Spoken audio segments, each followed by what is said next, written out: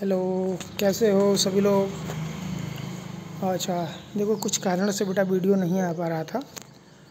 तो अब हम लोग अच्छे तरीके से थोड़ा सा मैं चेंज करना चाह रहा था कुछ, ताकि आप लोगों को लिखने वगैरह में प्रॉब्लम ना हो, है ना? थोड़ी समस्याएँ थी बेटर करने की हम लोग कोशिश कर रहे हैं, ठीक? चलिए, आज हम लोग चैप्टर फोर जो अपना जियोग्राफी है ना जियोग्राफी है उसका हम लोग चैप्टर फोर कर रहे हैं। अब आप बोलेंगे सर कि चैप्टर थ्री का जो है, हमको नोट्स मिल गया और चैप्टर वन चैप्टर वन का नोट्स मिल गया, लेकिन टू और थ्री तो आप लोग टू और थ्री का इन दोनों के बारे में जो आप लोगों को सिलेबस भेजे हैं हम, है ना, उसमें देखिए। देखो, ये बोर्ड एग्ज़ाम में दो और तीन नहीं इंक्लूड है, आते नहीं हैं, ठीक? लेकिन ऐसा भी नहीं है कि इनकी इम्पोर्टेंस नहीं है। प्रैक्टिकल जो आपके वो होते हैं, क्या कहते हैं चार्ट से रिलेटेड या इन मैप मैप वाले कुछ जो क्वेश्चंस होते हैं, वो लेसन थर्ड से आते हैं। तो उसके बारे में हम बताएँगे आपको। उसके लिए आपको घबराना नहीं है, ठीक है? अभी फ़िलहाल आपको यही पढ़ना है। जो हम पढ़ा रहे हैं, उसको आप पढ़ते जाइए। कोई दिक्कत नहीं, जितना हम बताएँ, उतना कर लीजिए। ठीक? आपको कैसे करना है? तो थोड़ा सा अलग है, इसमें देख रहे होंगे कि आप लोग अलग तरीके से सब कुछ दिख रहा है। तो आपको करना क्या है बेटा कि सिंपल, जो सिंपल चीज़ हैं, उन्हीं को देखना है। सिंपली एक बार नोट डाउन करना है और उसके बाद पढ़ते रहना है, ठीक? चलिए, स्टार्ट करते हैं एग्रीकल्चर एग्रीकल्चर है क्या बेटा? What is agriculture agriculture is a farming ठीक? जिससे हम एग्रीकल्चर को कहते हैं खेती करना है। जिससे हम प्रोड्यूस क्या करते हैं? प्रोड्यूस अपने लिए खाना बनाते हैं। खाना बनाना। और इंडस्ट्रीज़ के लिए रॉ मटेरियल रॉ मटेरियल वो मटेरियल होता है जिससे बेटा हम क्या कर सकते हैं? जैसे मान लीजिए रबर इंडस्ट्री है है ना? अब रबर इंडस्ट्री है, अब इस रबर से आगे हम पढ़ेंगे। इस रबर से डिफरेंट डिफरेंट टाइप के प्रोडक्ट हम बनाएँगे। ठीक? जैसे टायर बना देंगे, है ना? फिर शूज़ बना लेंगे अपने लिए, है ना? और डिफरेंट डिफरेंट टाइप के आइटम्स बनाएँगे। तो रबर हमारा क्या है? रॉ मटेरियल लेकिन जो टायर अलग जगह बनेगा और शूज़ अलग जगह बनेगा। तो इसके लिए हम रबर प्रोड्यूस कहाँ से करेंगे? रबर प्लांटेशन से। ठीक, इसके लिए आगे हम बताएँगे। लेकिन आपको अभी यही समझना है कि ये होता क्या क्या है। ठीक तो इसकी डिफिनीशन आपको राइट कर लेनी है। इसकी डिफिनीशन आपको लर्न कर लेनी है। ठीक है? जैसे, देखिए। डिफिनेशन में आपको क्या है? क्या लिखा है? It is the primary activity which produces the food बताया ना, खाना बनाने के लिए जो एक्टिविटी हम लोग करते हैं। अपने खाना बनाकर खाने के लिए। एंड रॉ मटेरियल किसके लिए? Industries it is a primary activity which produces the food we eat and raw material for industries ठीक? चलिए, आगे चलते हैं।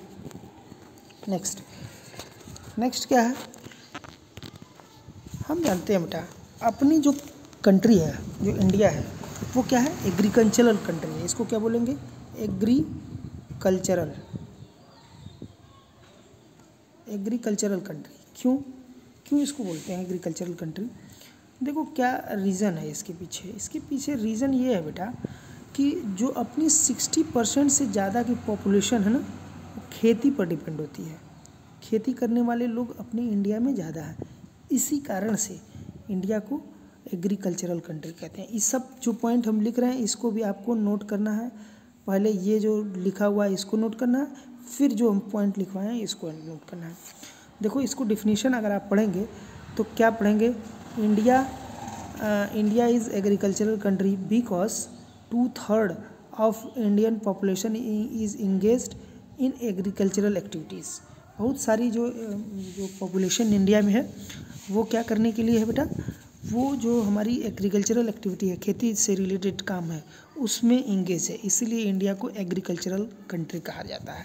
ठीक? आगे चलते हैं। Types of farming next types of farming types of farming में देखो तीन तरीके से फ़ार्मिंग है।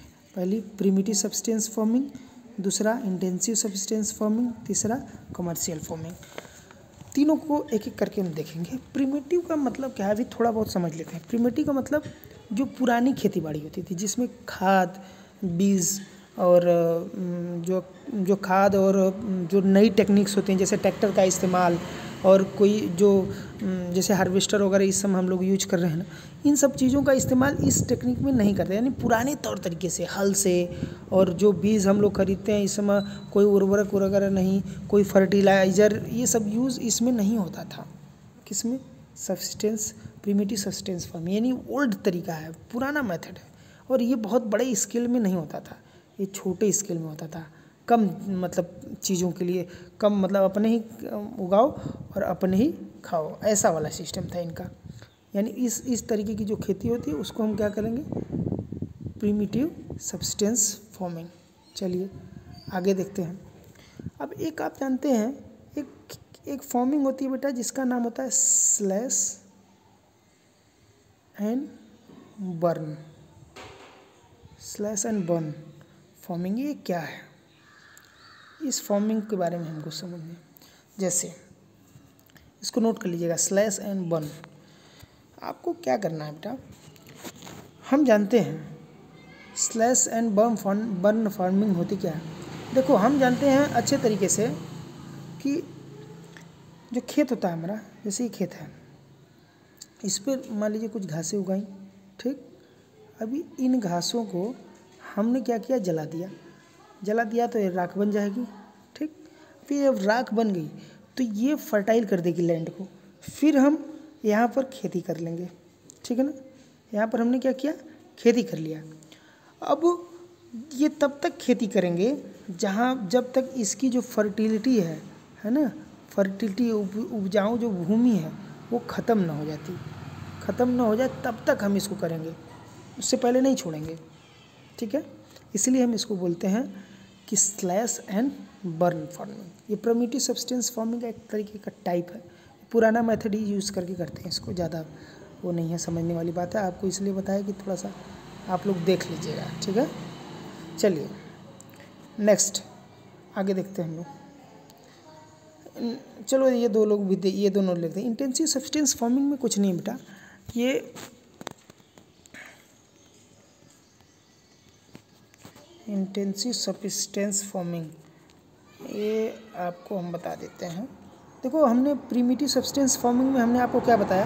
इसमें हमने आपको बताया था कि जो पुराने तौर तरीके हैं, उससे खेती करते हैं। लेकिन इसमें क्या है?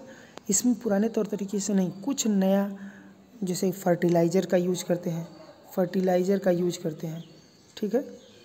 और दूसरा कि इसमें जो मतलब नए ट्रैक्टर ये सब का इस्तेमाल भी थोड़ा बहुत करते हैं और बहुत लार्ज स्केल पर नहीं, थोड़ा बहुत जो खा करना और उसके बाद खा करके और थोड़ा बहुत बेचने के काम जो आ जाए, वही हमारा क्या है।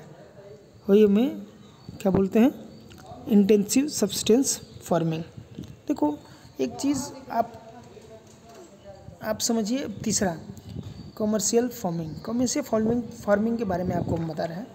कमर्शियल फ़ार्मिंग देखो बेटा, बहुत लार्ज स्केल पर होती है। ज़्यादा मात्रा में करते हैं। है ना? ये इसका मेन पर्पज़ होता है कमर्शियल फ़ार्मिंग का बिज़नेस करना। है ना?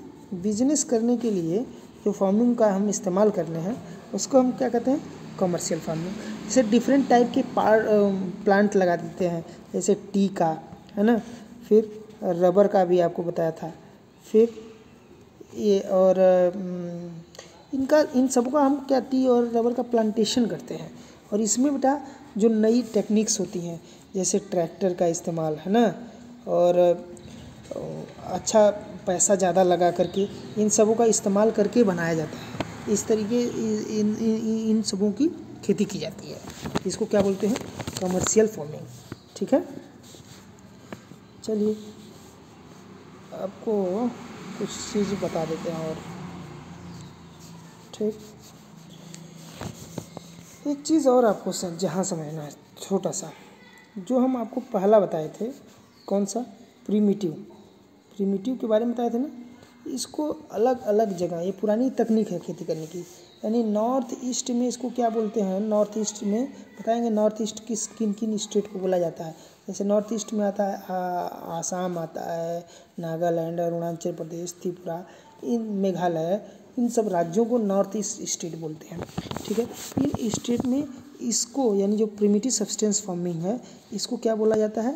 इसको बोला जाता है झूमलिंग। क्या बोला जाता है? झू झूमिंग। एंड अंडमान निकोबार में, अंडमान एंड निकोबार में इसको क्या बोला जाता है? दीपा। ठीक है, ये ध्यान रखिएगा, पूछा जाता है कभी कभी प्रीमिटिव सब्सटेंस फॉर्मिंग का नाम है नॉर्थ ईस्ट स्टेट में इसको जोमिंग बोलते हैं और अंडमान एंड निकोबार जो द्वीप समूह है, उसमें क्या बोला जाता है? दीपा। ठीक? तीनों के बारे में आपको समझ, समझा दे रहे हैं फिर से। बेटा, अपना intensive substance primitive substance farming है। इसमें पुराने टूल का यूज़ करते हैं, पुराने सीट का यूज़ करते हैं, हल का यूज़ करते हैं। नई टेक्निक कोई नहीं, बहुत छोटे मात्रा में इसका जो होता है उसको हम करके जो अपने लिए खाना या जो फ़ूड है, वो बना लेते हैं मतलब उगा लेते हैं। दूसरा इंटेंसिव सब्सटेंस फ़ार्मिंग इसमें थोड़ी नई टेक्निक खाद वगैरह का भी फर्टिलाइजर्स का थोड़ा बहुत प्रयोग करते हैं। फर्टिलाइज़र यूज़ करते हैं और जैसे नई जो टेक्निक्स आती हैं खेती करने की, उन सबको भी यूज़ करते हैं। तीसरा कमर्शियल फ़ार्मिंग में था। कमर्शियल फ़ार्मिंग में था, इसमें नई टेक्निक का ही यूज़ करते हैं। फर्टिलाइज़र का पेस्टिसाइड्स का, इन सब का यूज़ करते हैं और बहुत लार्ज स्केल पर करते हैं। किस पर्पज़ के लिए? बिज़नेस के लिए। जैसे इसमें कौन कौन सी, किसकी खेती होती है? ये जैसे रबर हो गया टी हो गया। इन सब का जो प्लांटेशन होता है, बहुत बहुत ज़्यादा पैसा लगाकर जिसमें पैसा कमाया जाए तो उस तरीके की खेती को हम क्या बोलेंगे? उस तरीके की खेती को बोलेंगे हम primitive substance sorry commercial farming sorry sorry चलिए, अब आगे हम नेक्स्ट देखें क्रॉपिंग पैटर्न क्रॉपिंग पैटर्न मतलब क्या होता है? अपनी जो सीज़न होते हैं ना सीज़न जानते हैं? मेनली दो तरीके, दो ही टाइप की हम लोग खेती करते हैं। जो क्रॉपिंग करते हैं, खेती करते हैं दो ही टाइप्स के होते हैं। लेकिन है तीन, बताएँगे। एक होता है रबी रबी, और दूसरा होता है खरीफ, और एक होता है जायद जायद। ठीक? तीनों के बारे में बताएँगे, आप डोंट वरी एकदम एक एक चीज़ को हम लोग समझेंगे। रबी इसमें क्रॉपिंग पैटर्न में हम यही देखते हैं बेटा कि कौन कौन सी मुख्य फ़सलें हैं? पहली बात। दूसरी बात, कब इन्हें सोन किया जाता है, कब बोया जाता है और कब हार्वेस्ट किया जाता है। ठीक है? और किस किस इलाके में ये होती हैं? ठीक? समझ रहे हैं? क्रॉपिंग पैटर्न में हमको क्या समझना है कि कितने तरीके के सीजन्स होते हैं? ठीक है? खेती के। और कब इनको बोया जाता है, कब काटा जाता है कौन कौन सी फ़सलें होती हैं कौन कौन से स्टेट में या देश में कितने कितने नंबर पर हैं। चलिए, आगे हम लोग देखते हैं रवि। पहला, rabi. Crops are sown between October and December. जो अक्टूबर से दिसंबर का समय होता है, उसमें बोई जाती हैं। उनके बीच में, इस पीरियड के बीच में इसको बोया जाता है। Crops are harvested between April and June वो फ़सलें जो अप्रैल से जून के बीच में काटी जाती हैं, उनको हम क्या बोलते हैं? रबी फ़सलें। रबी की फ़सलें। Example wheat barley mustard chana peas wheat barley mustard grams ठीक? इन फ़सलों को हम क्या बोलते हैं? रबी की फ़सलें। चलिए आगे। खरीफ की फ़सलें। खरीफ की फ़सलें क्या होती हैं बेटा? Crops are sown at at the onset of monsoon जब मानसून आता है, उसी समय इन सबों को लगाया जाता है। उन्हीं समय इसको बोया जाता है। क्रॉप्स आर हार्वेस्टेड एंड काटा कब जाता है? हार्वेस्टेड बिटवीन सितंबर से अक्टूबर। सितंबर से अक्टूबर के बीच में काटा जाता है और आप जानते हैं कि इंडिया में मानसून, बेटा, आता कब है? मानसून सीज़न कब आता है? जुलाई तक, है ना? जुलाई के आसपास आ जाता है। तो उसी समय इन फ़सलों को लगाया जाता है। अब हम अपने यहाँ देखेंगे क्या कौन कौन सी फ़सलें हो सकती हैं। पहला राइस, दूसरा जूट, बाजरा मैज़ मूंग, कॉटन, उड़द। ठीक है? सब अगर आपको कुछ हिंदी चाहिए किसी फ़सल के नाम के बारे में तो आप हमको बताइएगा। तीसरी, हमने एक पढ़ी कौन कौन सी? एक रबी की फ़सल पढ़ी एक खरीफ की फ़सल पढ़ी ठीक? दो फ़सलें पढ़ी अब इसमें जब राबी की फ़सल में तो अक्टूबर से दिसंबर के बीच में इसको बोया जाता है। और काटा कब जाता है? अप्रैल से अप्रैल से जून के बीच में। इन बीच में इनको काट लिया जाता है। अप्रैल तक मान लीजिए इसका काट दिया गया। अब खरीफ की फ़सलों में मानसून सीज़न में हम जानते हैं, बोते हैं। मानसून सीज़न कब आता है? लगभग जुलाई में। जब जुलाई में इसको बोएँगे बेटा तो बीच का जो महीना होगा, दो महीने का, समर वाला, उसमें एक फ़सल बोई जाती है, जिसका नाम क्या है? जायद। ये सीज़न क्या है? In between kharif and rabi crops. और कब कब से मई से जून क्या क्या होता है? वाटरमेलन कुकम्बर और वेजिटेबल। अभी जो हम लोगों का इस समय का मौसम चल रहा है, वो यही वाला है। कौन सा? जायद का। देख रहे होंगे आप लोग, वाटरमेलन कुकम्बर ये सब अच्छे मात्रा में मिल रहे हैं। ठीक है? चलिए नेक्स्ट मेन क्रॉप्स कौन कौन टाइप्स की अपने पास क्रॉप्स हैं? उन क्रॉप्स के बारे में हमको पढ़ना है। ठीक है? देखो, हम लोग आपको बता दें बेटा यहीं पर। कि मेनली मेनली जो क्रॉप्स हैं अपने पास,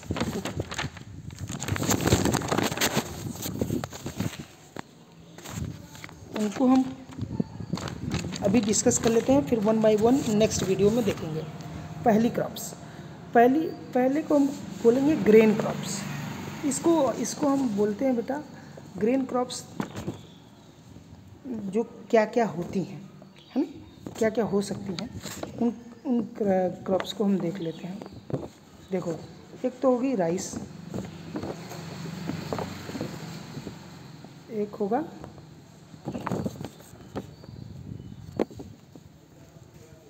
राइस ठीक? दूसरी वीट ग्रीन क्रॉप्स में हम देख रहे हैं मेन क्रॉप्स में ग्रीन क्रॉप्स फिर मेज़ है ना? फिर पल्स। है ना? फिर इसके बाद मिलेट मिलेट कौन कौन सा हमने पढ़ा? राइस पढ़ा वीट पढ़ा मैज़ पढ़ा पल्स पढ़ा, यानी दालें पढ़ा और मिलेट्स पढ़ा। मिलेट्स क्या होते हैं? सब बताएँगे। कोर्स ग्रेन वगैरह सब सब सब डिटेल में पढ़ेंगे हम लोग। आगे की वीडियो में हम लोग देखेंगे। अभी हम लोग यहाँ तक फिनिश करते हैं इस वीडियो को। आगे वाली वीडियो हम जल्दी ही अपलोड करेंगे आप लोगों के लिए। ठीक है? अभी मेन क्रॉप्स तक एक एक डिफिनेशन जो जो हमने बताया है, उसको समझ लीजिए। समझ कर हमको बताइए। Okay thank you